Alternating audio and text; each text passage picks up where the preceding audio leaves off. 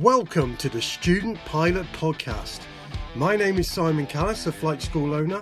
Each week, myself and my guests will be talking all things flight training and beyond to help inspire, motivate, and support you on your journey to becoming a private or commercial pilot.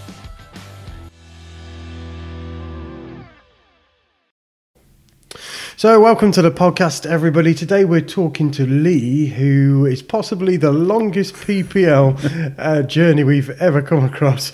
I'm sure there's people out there that have taken longer, but. Um, so, Lee, uh, you first contacted us in 2020, wasn't it? I think. It yeah, yeah. It's around COVID time. Three years, three years ago. It yeah, was, it was. Yeah, and yeah. after I heard your story, which we'll go into uh, shortly, I you know, anybody who knows my story, I had a pretty bad journey. I thought I did. Um, so when I heard your story, I was like, I really want to help you. It really would mean a lot to be able to get you through this. So, so firstly, welcome to the podcast, Lee, and welcome back to England. Thank you, thank you, Simon. Oh, it's good to be back. Yeah. So Lee's travelled from Singapore, and incidentally, he travelled from Singapore to do his training. I not did. not each day, mind you, but it was. it's a long commute, but long uh, commute. Yeah. um, so you finally finished in 2022 after 35 years of trying various countries and schools, can, can, you remember what it actually felt like when you realised you'd passed?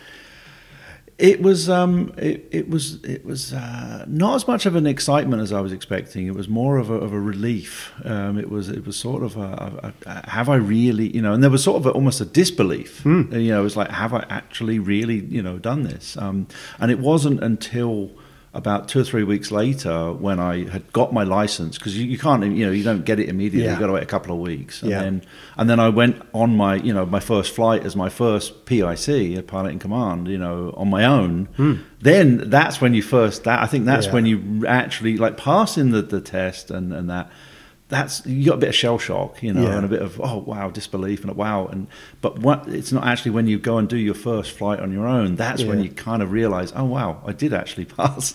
I um to be honest I found it an anticlimax because uh, you know I'd been trying for mine was twelve years in total, um, but I'd been trying for so long. When it happened, I thought well, what do I do now? Right? Yeah, there was a bit. Yeah, there was a bit of that, but it was yeah. just like yeah. but no, we were really excited for you because it was out of all the learn to fly journeys I've I've helped people with with. I get the most satisfaction out of helping people who've had the hardest journeys. Yeah. And and for you to see you pass, it was you know, I know we had some troubles in COVID and all that kind of stuff, but for me, it was like I don't care how we do it, we need to get you through this. You know. Um, so can you take us um, back to the beginning then? So. What was a year you decided to, to start flying and why? Well, I, I, I mean, like a lot of people in the UK and actually in even other countries, I mean, I first got my first flight experience in the Air Cadets, mm-hmm. you know, when I was a teenager. And um, I even managed to get uh, my first solo because uh, in the Air Cadets, if, if you're okay enough, mm-hmm. they have like uh, gliding, power gliding, and even PPL scholarships that you can do. I wasn't mm-hmm. good enough to get a PPL scholarship, but I managed to get the powered gliding mm-hmm. um, sort of thing over near to where I was living. And um, so I actually, you know, did. I actually ended up going solo in about five and a half hours, which was really quick. Wow! Yeah, um, yeah they even said, "Wow, you're really, you know, that was really done really well." Hmm. And um, that was in 1987. So I was a very, you know, yeah. quite young. I was seven. Um, yes, yes. I was, uh, what was I, um, 19. Yeah, I was 19. Yeah. So um, it was kind of near the end of my Air Cadets uh, stay. But um, but I was, at, and I, I, went solo and, and I was like, this is great. I was mm-hmm. like, I, am going to, yeah, I'm going to get my PPL and I'm going to do all this and whatever. Yeah. And and then real life kind of like, you know, slaps you in the face. And at 19, you, you know, you're starting getting a, you're out of school and you're getting yeah. a job and, and you get a house, and then you get a car, and then you get this, and you know, and and, yeah. and but I still wanted to do that. That was more than anything I really wanted to. And I even looked into various because um, I, I, remember back in the early '90s, British Airways was doing a scholarship. Hmm. Where you could get on a scholarship, and um, I did even apply into it, but then I cancelled that when I realised that yeah, they give you a scholarship for getting your pilot's license and going in as an airline pilot, which was definitely a thought. Yeah. Um, but they don't give you anything else, so you have no living expenses, no food, no. Right. And uh, I was at that point I'd already you know moved out. I was on my own, and I'm going well. I can't do that. How can I? I can't eat. I can't. how do I live? I mean, yeah. So it was sort of like okay, that solved one problem, but created another one, and then yeah. you know. Um, so I, I still wanted to, and then I, you know, I'd go flying with friends every so often. When any any time anybody was going in a plane, I would jump in and, and go Yeah. with them or any opportunity I had. And um, I ended up moving to the states in the '90s, and um, I thought that might be an easier way for me to, because I always heard, oh, it's cheaper over there, and Yeah. Eh, it's not not so much cheaper, but it, you know. Um, and again, I was sort of, you know, life got in the way and, and things like that, and. But the one thing that I started to do at that point was to I, I'd heard I'd, you know I'd heard other people telling me their stories about getting a PPL and their problems, and I was like, okay, I'm not going to make their mistakes. Yeah. um, which I did Yeah, in the end. yeah. But um, but the big one that a lot of people were saying was make sure that you've got the time and the money uh, sort of allocated, or at least like a good chunk of it, so Mm-hmm. that you don't start and then have to pause and then restart and then have to pause. And so I kind of bear that in mind. And you know, during the nineties, I didn't have any money. I had time, didn't have you know. Then when I, you know, I'd have money and didn't have time, and it would go back Mm-hmm. and forward between which one. I didn't have both. So you were kind of training with those barriers at the time. I was sort of giving myself limitations, Yeah. which I sh- probably shouldn't have been. I, Yeah. I, I should have. I should have at least tried to be a bit more active in in getting forward. I, I'd sort of imposed a self limitation on myself, Okay. and um, I probably shouldn't have, because that kind of held me back. Yeah. Yeah. So can you tell us about some of the PPL training you did in other schools and other countries? Yeah. things? So what happened was, is a long, you know, cut cut to um, actually about six years ago, Okay. and I was I'd, I'd now was now living in Singapore, Mm-hmm. and um, I I you know like again like a lot of kids of my age, I remember um, the James Bond film. You know, Mm-hmm. you only live twice. You know, where James Bond flies an auto gyro. Mm. And I was, I, I thought, oh, that's the coolest thing ever, you know, because this thing arrives in a suitcase and he puts it together and he flies off. And I, I do remember seeing Ken Wallace, who was the guy who actually built those, flying at an air show in the 80s. I definitely Okay. remember that, you know. So um, somehow I was looking online because I would always like, you know, look online at various websites and think about this and think about, you know. And I stumbled across a guy in Thailand who did autogyro pilot, um, uh, not training, but like joyrides. Okay. He, he he had a place outside of Bangkok, and he would take tourists up. Yeah. And I went, I've always wanted to try an auto gyro because those are cool looking. Yeah. And I'd never been in one, you know. Um, I'd flown in, you know, helicopters and I'd flown in planes and gliders, you know. But again, just more with friends whenever Mm. I had an opportunity. But I'd, ne- and I thought, okay, this is great. So I contacted him and I said, what do you do? And he goes, he told me. And um, he said, you know, I, I can't, I can't give you a, a, a do a license here because I'm not Mm. licensed to do licensing in, in Thailand. Um, turns out he was an American guy um, who used to be a, a Huey pilot. Okay. And then he had a business in Asia. He'd stayed in Asia for, for decades, um, doing various things. And he's essentially retired now, um, um, but was full of life, you know. Anyway, so I ended up booking like a five hour kind of block with him, and I went over to Thailand and um, did like a long weekend. You know, I was like, okay, I'll do five. And, um, and I met this like 75 year old guy, you know, who's retired and flying this. And, it, and the thing that actually got me sort of back into definitely wanting to get my PPL was that so there was this 75 year old guy you know who's in Thailand giving these joyrides to tourists and also doing a little bit of training on the side Yeah. and um, it, it, I noticed that there was this very much a, a life in him Yeah. and that flying gave him and I was Yeah. like hey you know um, I, I want to be that guy in in uh, 30 years or whatever it is you know Yeah. um, and um, so that you know, so we did. We, I did these five hours in the, this auto gyro on the weekend, and it really kind of reinvigorated me because it was a combination of finally being able to actually do some some flying on my own. Mm. Um, I couldn't go solo uh, or anything, and I wasn't ready to go solo then after five hours. But um, Yeah. but I was getting pretty close. He was like, "Well, in a few more hours, you could probably go solo." But Yeah. But that would then require licensing and all that sort of stuff. But anyway, so I spoke to him about all this, and I went, you know what? This was so. This was about six years ago, and um, I was uh, 49 at the time, and I'm thinking, okay, my 50th birthday is coming up next year. Why don't I I get my PPL for my 50th birthday? And um, so that kind of became like, okay, this is my target. So then I started looking at what do I need to do, where do I need to go, and I'm living in Singapore now. Singapore um, is is a pretty expensive country, and it's a very tiny country, which means it literally has one airfield, one Yeah. You know, and, and it has two very tiny flight schools that have like one plane each. Um, so I contacted them, and they were sort of like, "Oh yeah, well it's going to cost you this much money," and I'm t- it was like fifty thousand pounds. Wow. And it'll take you two years, and this and that. And I went, "It can't. That doesn't sound right. It can't. This doesn't. You know."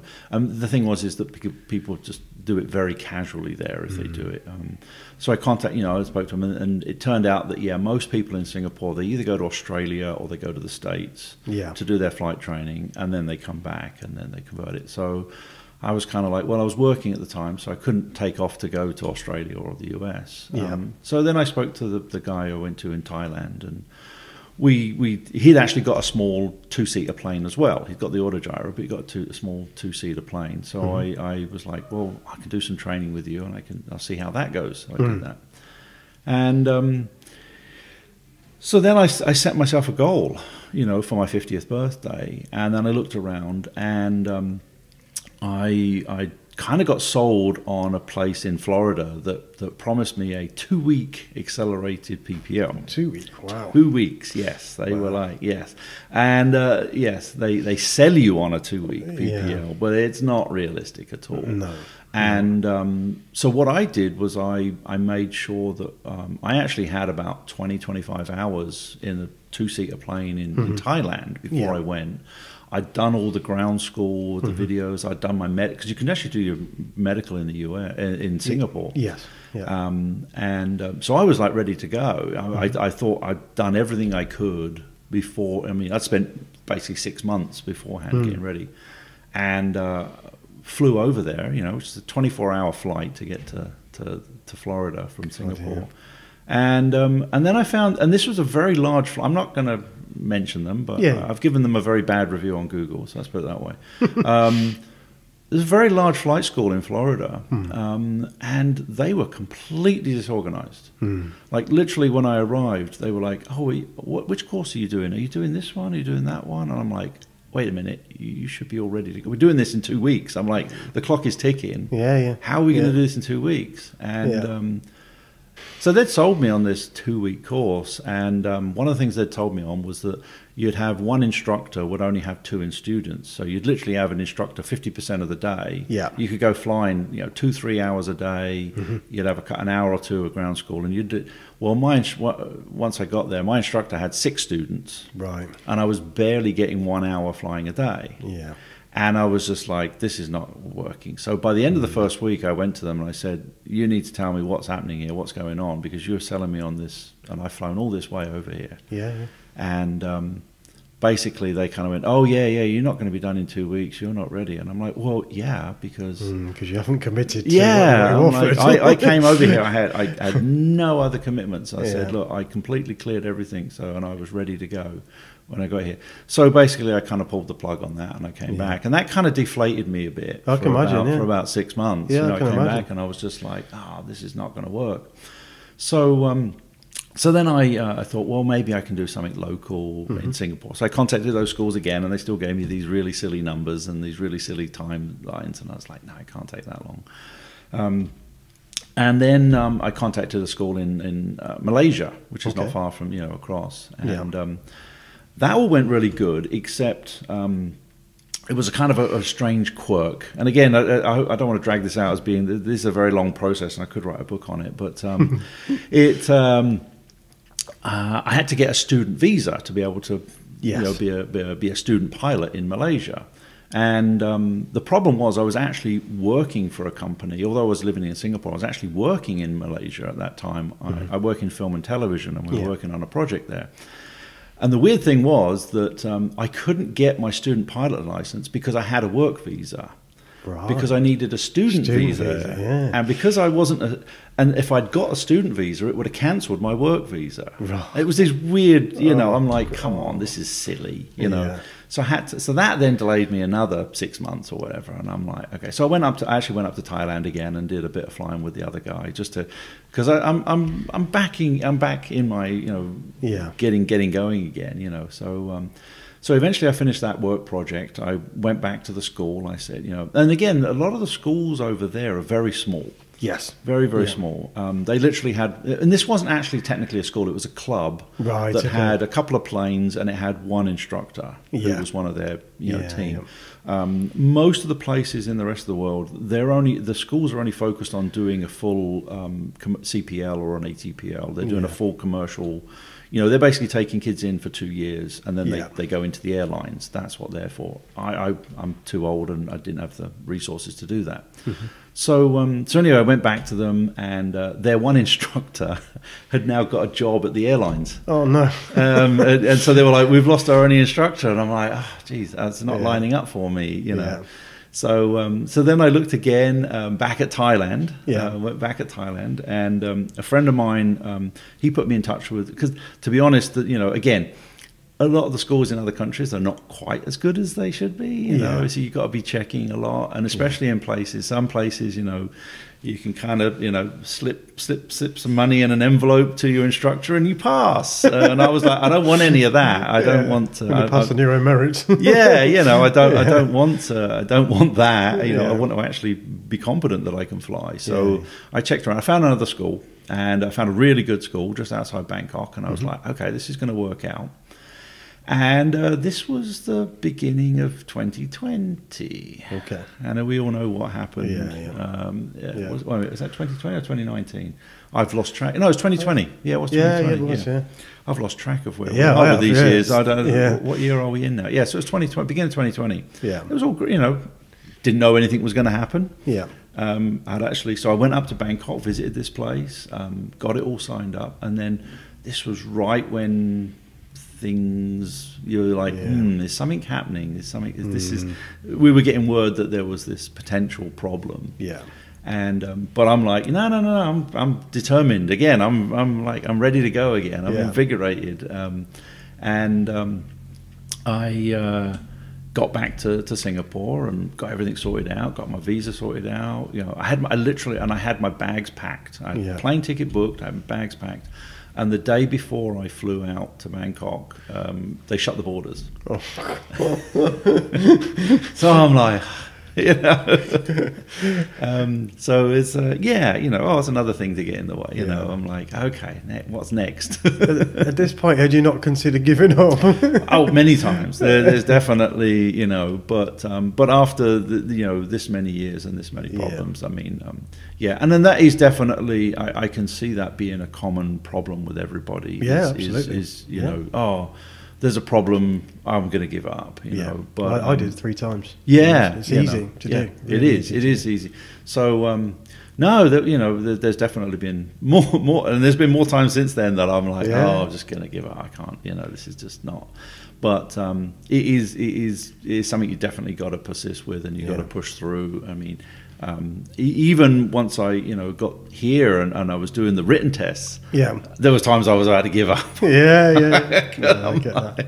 So um, yeah, so then uh, then COVID, you know, came along, and we were like, well, how long is this going to last? Maybe it'll be three months, maybe it'll be six months, you know.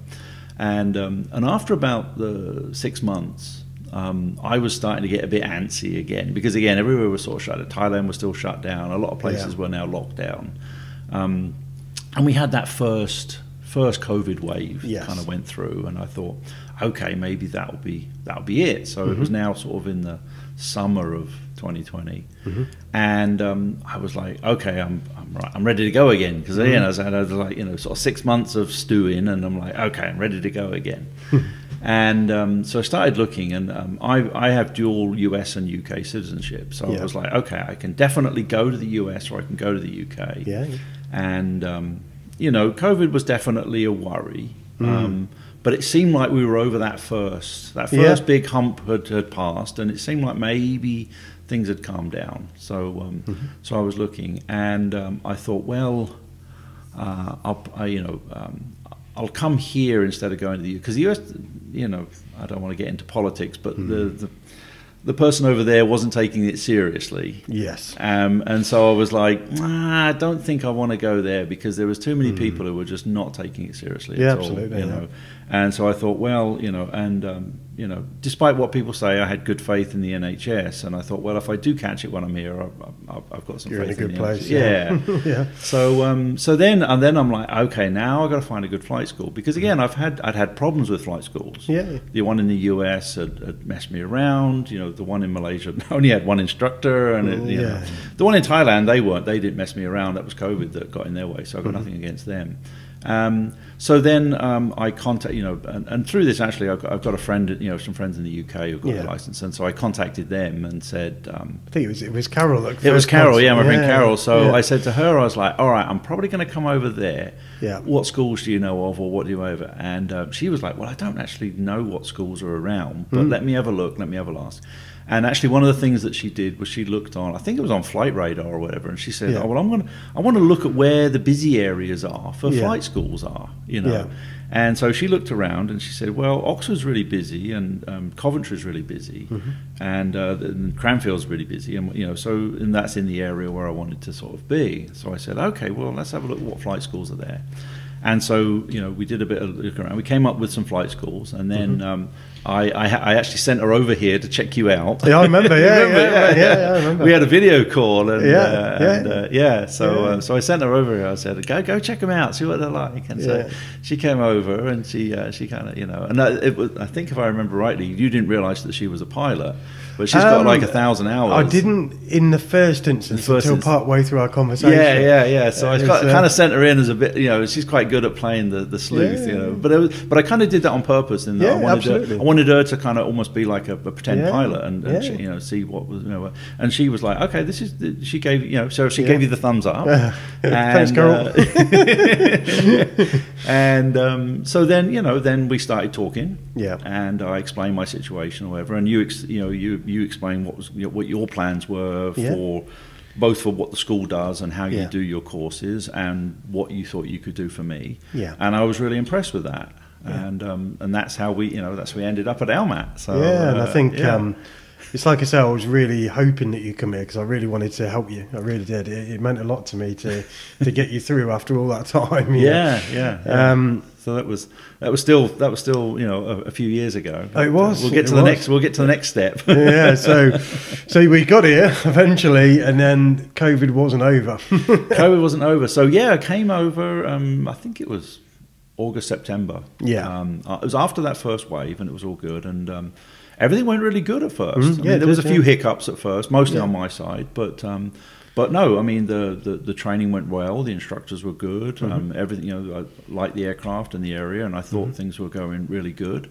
And um, yeah, we, we actually got up to I got my solo done again, Yeah. you know, um, fairly fairly quickly, which was a great because I was like, wow, it's been like 32 years since I went Yeah, solo, yeah, you know. So that and the thing actually, the funny thing is actually that, getting my that solo again was almost more invigorating than actually doing the, the final test in a way because again, it's that first moment when you're on your own.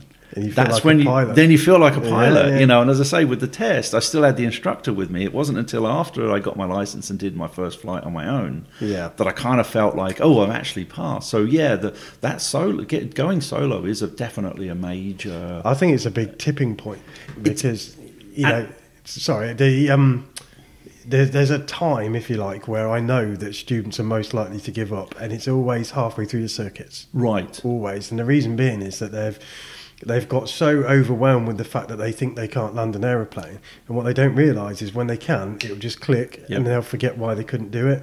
Yep. So it's like the impossible barrier. When Yep. they smash through that, everything else seems to go a bit easier. Yeah, no, and I, I, I definitely had several. There was definitely several stages where you, you, you're doing circuit after circuit after circuit, and you're doing Yeah. not a good landing, an okay landing, not a good landing, okay, Yeah. la- not a good landing. You know, and you're Yeah. going, why can't I get this? Yeah. You know, and then as you say, there's certainly a point where you, your brain you suddenly start to. Um, I think it's just a perception of what's going on around you. it is, and and you know, eh, there's a lot going on when you're flying. You, you've, you've got a lot to, to think about. You've got a lot to remember, and um, you know, in, in some ways, people compare it to oh, well, learning to drive a car, and I said, well, it is, but it isn't. I mean, Yeah. there's definitely obviously similarities, but um, but obviously it's then multiplied by probably ten. Yeah, you know, absolutely. well, over- it's, over- it's, you know, for a start, you've You're got going and three-dimensional, haven't you? yeah, yeah, absolutely. yeah, and you don't have a road to, you know, you kind of have a road to stick to, but you don't have a road to But stick you can't pull so- over. exactly. And You can't kind of, oh, I don't feel good here. I'll just have a break. Yeah. Um, so yeah, yeah, getting back to to having a solo that Yeah. was that was a definite invigoration. And then I got to the cross country solo, Mm-hmm. which is you know, so then you're not just in the circuit, you've actually Yeah. gone off away from the airfield and navigated and Yeah. come back on your own. Yeah. That's and then that's actually when you kind of really go, wow, I'm I actually Can feel you, like I'm, you probably remember this like I do, is that when you visit airfields as a, you know, wannabe starting up student, and you see these people, you know, you go to an airfield cafe and somebody rolls in by themselves with a high vis on, and they walk out by, and you think. He's a pilot, you know. and then when you do your first qualifying, you know, not your qualifier, but your first landaways by yourself, you're Yeah. that person, and you think, I wonder if anybody's, you know, I'm a pilot. right, yeah, it's, yeah. Uh, but it's that realization, isn't it? It you did it, It's you know? definitely. It's, It's, uh, definitely that realized. You know. Um, so yeah, no. Co- you know, I'm, uh, first of all, the, the the first. You know, people say, well, what would you tell people to do to, to get a PPL quicker? Is Mm. don't try and do it during a pandemic. Uh, do, do you think the, in, the intensive training was definitely beneficial? Absolutely, yeah. No, you've you've got to commit to a, a definite schedule, um, and and you know, um, I'll let you. You know, you can kind of tell people what you know is a better schedule, you know, based on your experience, because obviously you've got a lot Yeah. more appearance, you know, people than you are. Um, but for me, it's sort of like, um, yeah, you, you definitely want to try and commit um, to, if you can, you know, every week, every Yeah. weekend, you know. Yeah, and obviously you're busier on weekends, but yeah, the other thing I found very, you know, obviously I was here kind of full time and was more dictated by the, the weather. Mm. Actually, was was a bit of a, a factor, but Forty percent cancellation rate because of weather. yeah, Yeah, so, so pe- people always say to me, oddly enough, is when when's a good time to learn to fly? Shall I start in May? And I'm like, well, it doesn't really matter to me because you're going to see bad weather wherever you go, Yeah. whatever time of year. So it depends on what part of the course do you want to see that bad weather. I'd I'd say it's better to see it earlier on than later on when you need to go solo. Yeah. So Yeah. the, the the the right time to start to learn to fly is always when you have the time and the money and forget everything else. Yeah, You yeah, know, definitely. Because uh, even, I mean, to be honest, some of my my smoothest flying was done in December. Yeah, exactly. Um, you know, yeah, it was chilly. Yeah. Um, but the air is actually quite clear. Nice. You don't have this uh, the fog and the mist so Yeah. much. Um, that the Stable haze because it's cold. and it's cold because it's Yeah. exactly you know you don't have the thermals bouncing Yeah. you around. So yeah, no, no. I mean, so yeah, we we I got up until I'd done my solo navigations and I was just about to do my solo landaways, Hmm. um, and that's when we had another. Obviously, you say COVID hadn't Yeah. hadn't uh, finished, and uh, we had our second wave, Yeah. and that caused uh, another lockdown. Yeah. um, and. Yeah, I should have, uh, you know. So I and I was stubborn at that point. So I was like, okay, there's only a month lockdown. I'll wait. Yeah. And uh, and then we came out of that lockdown, but it was a it wasn't a complete come out. It was still a limited. Yeah, we had uh, a lot of restrictions. A lot of placed, I think. restrictions, yeah. So, And I mean, so- w- one thing that was I felt was really good about the situation was that everybody that was involved in it, you know, ourselves and the customers at the time, we all just sat down with the individual and said, look, this is what's going on. This is the limitations. What can we do about it? And we all kind of worked together, made a plan, Yep. um, and got through it. There wasn't a single person during that period who didn't end up finishing. Right. You know, Yeah. I mean, granted, they took a lot longer than people who started outside of that period, Yep. um, eh, but everybody stuck with it and did it in the end. Yeah. It was great. Yeah. It was good. Yeah, no, definitely because uh, you know you, you kind of had this outside restriction that wasn't your fault or Mm. anybody else's fault, and you're like, okay, well, I'm going to push through that one for sure because that's not something that I have control over. And if anyone had said that there was going to be some kind of illness that you could get that's going to close the world down pretty much, Yeah. it's, uh, Yeah. you just think, well, whatever. You know? Yeah, yeah. Well, It's happening now. yeah, and you know, the reality is the last one was about hundred years ago. So Yeah, hopefully it's going to be another hundred years before the next one, and uh, we won't have to worry about it. So I think one of the big points about learning to fly is not just the process, but it is your relationship with the school. Definitely, yeah, no. So that was one of the big you know factors for me because you know I mean I know when I you know when we we kind of got into that second lockdown and there was limitations I did still do some flying because Yeah. I'm like I want to fly I want to Yeah. I'm going to wait till the, it lifts and I'll, I want to fly and of course Yeah. it, it actually ended up that that lockdown sort of it wasn't a lockdown but the restrictions went on for about six months almost I think you know that was quite a long period where there was just limitations on what you could do Oh no. your cameras Cam- cameras died. Never mind, we got audio. Um, so yeah, I uh, I ended up um, you know I was like okay I'm just gonna I have to go back to Singapore I, you know Yeah. um, I didn't really have any option and my wife was sort of like um, when are you coming home Yeah. Uh, Yeah, yeah, so yeah, she couldn't come over here Yeah. and uh, and uh, I do know that um, you know I could I could tell that maybe you guys were thinking oh we're never going to see him again because you know he's, he's Well, heading I- off to the End. but I could understand Yeah. the reality of that I definitely would I mean, I'm not going to lie and say it didn't cross our mind. Yeah. It was it was a possibility, Yeah, but no. who could blame you Exactly. if you didn't? Yeah, you know, yeah, it was, yeah. um, and, and, and, and a lot of people could have easily given up at that point. you know what? there's there's one thing I will say, Lee, is that what you did was, uh, you know, it was a testament to you, but it was. It's probably one of the most incredible journeys I've ever seen. it really was because honestly, I see people give up before first solo and things all the time. You know, I did it. You've done it in the past as well. Um, you know, to, to have all of those barriers after all of those years and finally get it done.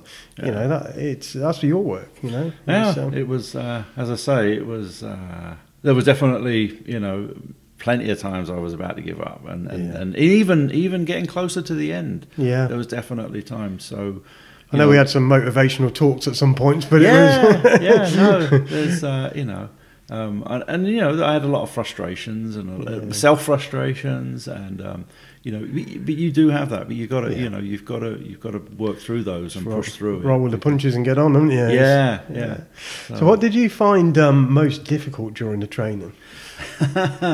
okay, the most okay. This is actually so. I've already had people ask me, you know, like what? It, what I want to do my PPL. What should I do? What should Yeah. I do? And um, actually, the the most the hardest thing I found was was the the books, Mm. the theory, the reading, the tests. It wasn't so much the tests, but there's, you know.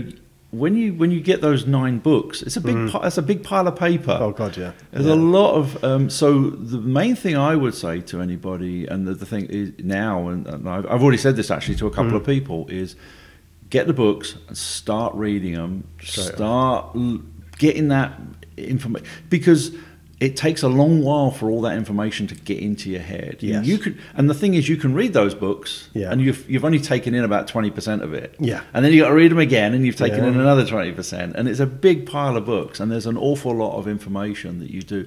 And there is a point where you're going, I can't remember all this. I'm never Yeah. going to learn all this. There's too much here. I can't figure this out. Um, but like with anything, again, you you you know you do it. You know, you watch. You know, you've, you've got you know videos. Yeah. Um, you've got in, instructors that do your classes, Mm-hmm. and and so the combination of of you know watching videos, talking to other pilots is Yeah. also really important, and you're Yeah. talking to instructors, asking Yeah. questions, being you know. And there's many times I went to the instructors and I'm like, oh, I know I'm being annoying, I know I'm asking another, you know, but they're fine. Then there was never Yeah, any. well, there was never any. Um, You know what I say to people? The only stupid question is when you didn't ask. Exactly. You know, yes. So, um, um, so the bu- the book, yeah, all all the uh, the, the theory and, and all those books. There's a big pile of books, and, and Yeah. so all I would say is start them right away. Yeah, Like start them earlier. Um, because it does help with the flying lessons as well. you know, yes, and, and the there knowledge. is also, and, and then it's also a, a, a 50-50 in that Yeah.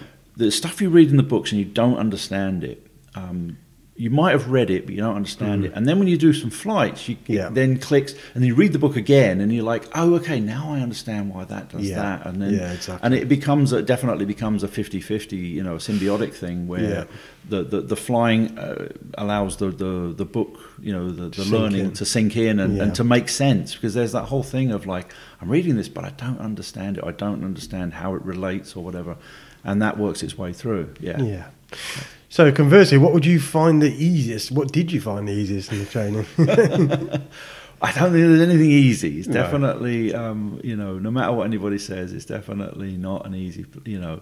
Um, I guess in, the the funny thing is the the actual flying, I think, not not the landing or the Mm. radio or the navigation and all this sort of stuff, but you know, actually flying the plane. I mean, Yeah. really, it, it is pretty straightforward. You Yeah, know, um, and uh, and you know, and I'd I'd technically been flying since I was a kid because I had Mhm. done flying, you know, when I was younger, and and even when I was a kid, I was always avid. I loved uh, flight simulators and all Mhm. that sort of thing, and.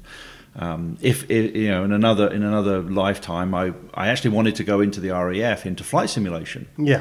Um, when I when I came out of high school, um, um, I wanted to go into the RAF, and literally that year, which was 1986, um, there there wasn't any hiring on the RAF, in, and so I ended up in a different career completely.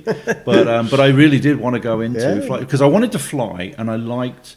Um, uh, models and miniatures, Yeah. which at that time a lot of flight simulators were still using Yeah, yeah. these huge models with a camera that flew Yeah, over yeah. them. This is ancient technology now, but it, but at that era in the late eighties, it was moving into CG computer generated computer Yeah. flight simulators. Um, Yeah. And I did go in a um, a, a computer, a, a you know, multi-million dollar simulator Mm. in the late eighties um, at an airline, at Monarch Airlines at Luton Mm. Airport. I went there. I managed to get into one of their flight simulators. Oh wow. And I was like, wait, this is computer generated. And I was into computers at that Yeah, time. yeah. yeah. And I'm like, this is what I want to do. This is great because I can fly, I can work with graphics, I can work with computers, I can, Mm-hmm. and but as I say, that didn't work out. I went in another direction. So, uh, Yeah. so the yeah, the the actual flying, I, I think is is sort of. I don't want to say it's the easiest part, but the reality is when you're flying and there's nothing going on, Yeah. it is the easy part. It's Yeah. then everything else, you know. It's, it's putting everything together, isn't it? It's yeah, the, yeah. um, and even taking off is fairly. It's the landing is obviously. yeah, the the landing's, landing's a key bit. it's important. It's important. Yeah. um, so, if you had to do it all over again, Right. what would you do different? What would you change? Um, well, apart from starting earlier, younger, because I think your brain is a little bit more uh, adept at taking in information when you're younger. definitely, Um, I, I think I would. The main thing I would do is to is to is to definitely find a, a good local school, close, you know, uh, um, within. You know, within an easy reach of, of Yeah. where I'm living. Uh, don't try to learn um, from another country. Yeah. Yeah. um, and um, and just make sure that you've got a, a good school with good instructors that you feel Yeah. comfortable with. I think over over and above anything else, that is Yeah. is definitely the most important thing because you want to, um, you know.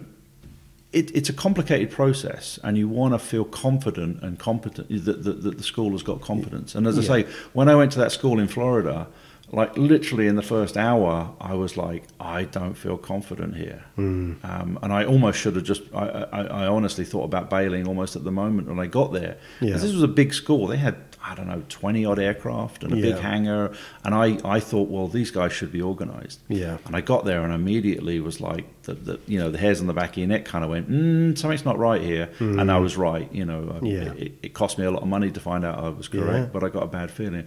Whereas when I came here, um, I didn't get that. I didn't Yeah. get that at all. So- It is, it is a people business. Yeah. You know, it is. And, Yeah. and, and I'm not going to lie to you, we've made mistakes. You know, we've lost students before, like every school has. But I generally hope by the point that happens that we've sat down, had a conversation, and said, right, I think I've done everything I can possibly do to make this right. Maybe it's just not a good fit for you. Right. You know, um, and I think that's really important because sometimes you'll have problems, but it's how you deal with those problems Yeah. generally that's more important. Yeah, So, yeah. And, Um, uh, and any problems I had um, here, you know, whether it was learning something or understanding something or whatever, there never seemed to be a problem in, in figuring it out and explaining it to me or, Yeah.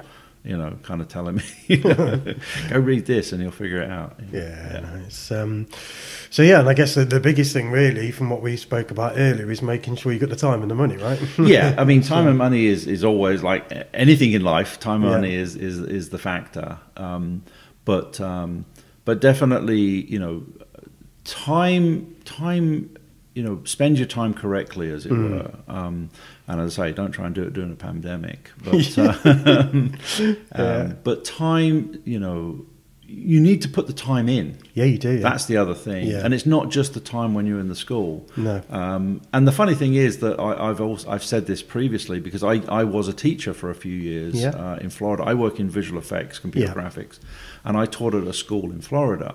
And average, I'd have 20, 25 students in my class, Mm-hmm. and the thing was is at least half the students that I had, Mm-hmm. like we had four hours a day in class.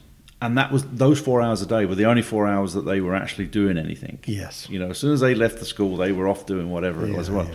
and I'm like, they're, they're the students who are not going to get anywhere, Yeah. and they didn't. They never went anywhere. They never did anything.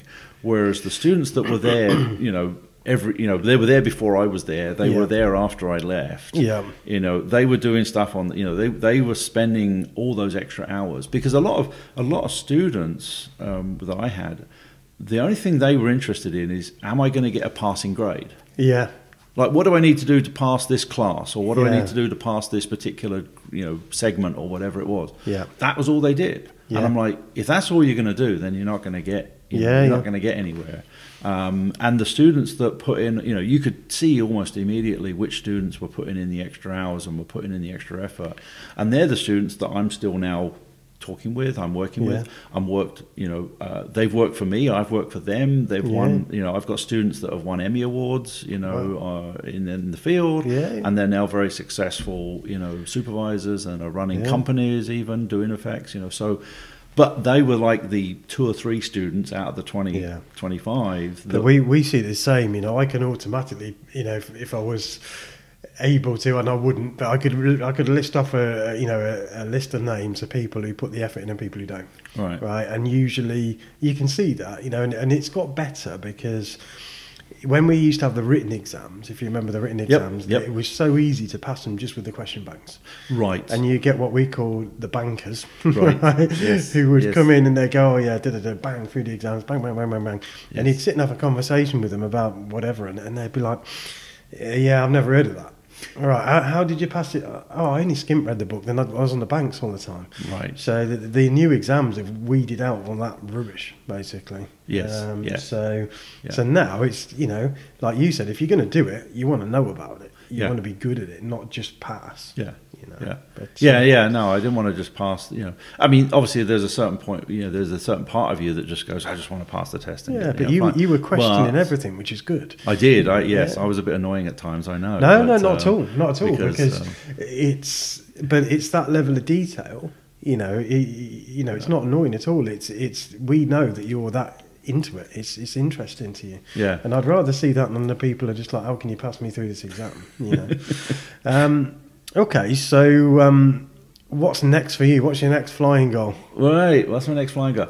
Um, my next flying goal is actually to get some regular flying in. Okay. That's the that's the next goal, and um, so I'm still currently living in Singapore, but my, my work is always project based. Yeah. So I, I sometimes have to go to different countries to do a project, and then so um, yeah, my next my next goal is actually to get in some some sort of regular flying. Yeah. Um, since I completed my PPL, I've I've actually only done a couple of hours. Yeah. Um, and that was more just happenstance and, and life, as it were, than, Yeah. than anything else. But um, but this year, I'm, I'm I'm definitely committed to sort of getting in a, a good many as many hours as I can get. Ah, that's good. Um, and and what I want to do is I really want to uh, build up another 50, 100 hours Yeah. of just. Just, just flying, just, just Yeah. actually just flying, or whatever. Because then what I want to do is to do my instrument Yeah. um, so Absolutely. instru- instrument flying is definitely, and, and everybody says, "Oh, you should do your instrument flying as soon as you can." I go, "Well, I want to, I want to uh, at least Get you some know, experience get some first. experience in, Yeah. um, and then go on to to instrument, um, and then you know."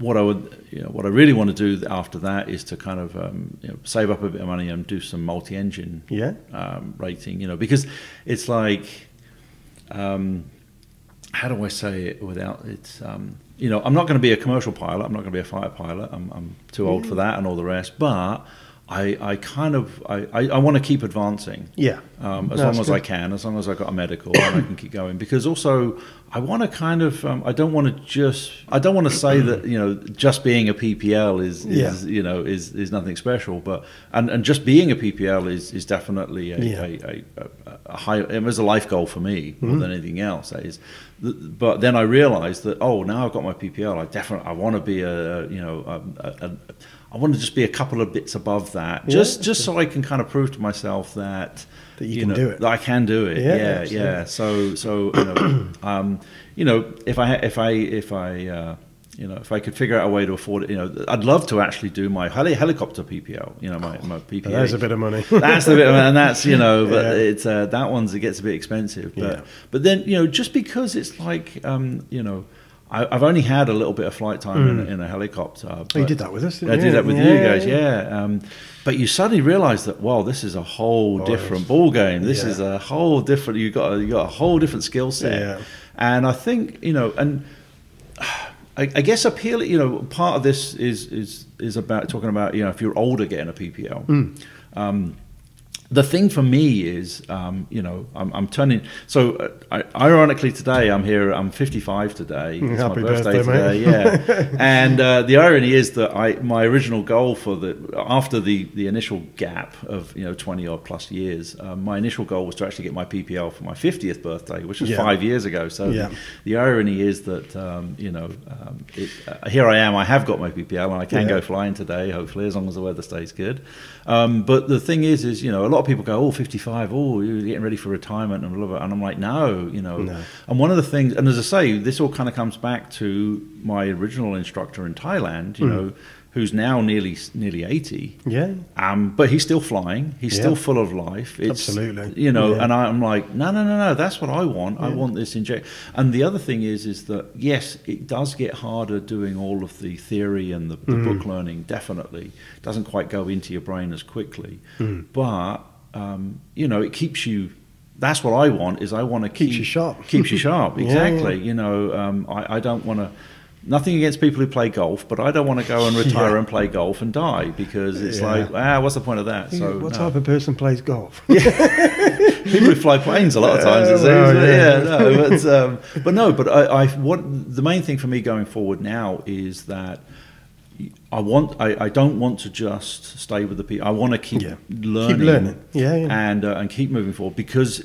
It, it's, it keeps you it keeps you sharp as you say Yeah. it keeps you sharp it keeps and you, you've really got to you know you've got to keep your brain going and I think that keeps you active Yeah. um, you've also got to keep fairly active physically because one of Mm. the things that I tell you the, the, that medical is, is almost it's not a cloud that hangs over you, but it is.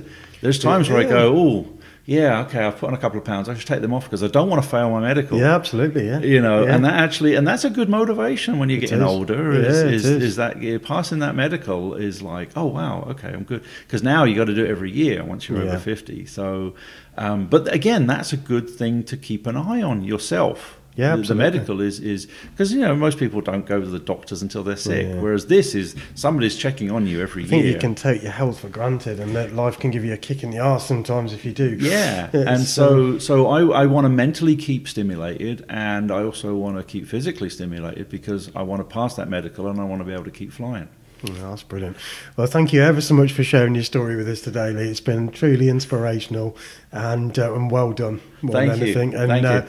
go and enjoy your birthday flight. And he's, Um, he's got his wife with him today as well, Yep. which um, you can now show her why we kidnapped you off for all this time. Yeah, this will be my this will be my uh, first flight with my wife. Um, I'm not saying she's excited; she's a bit apprehensive.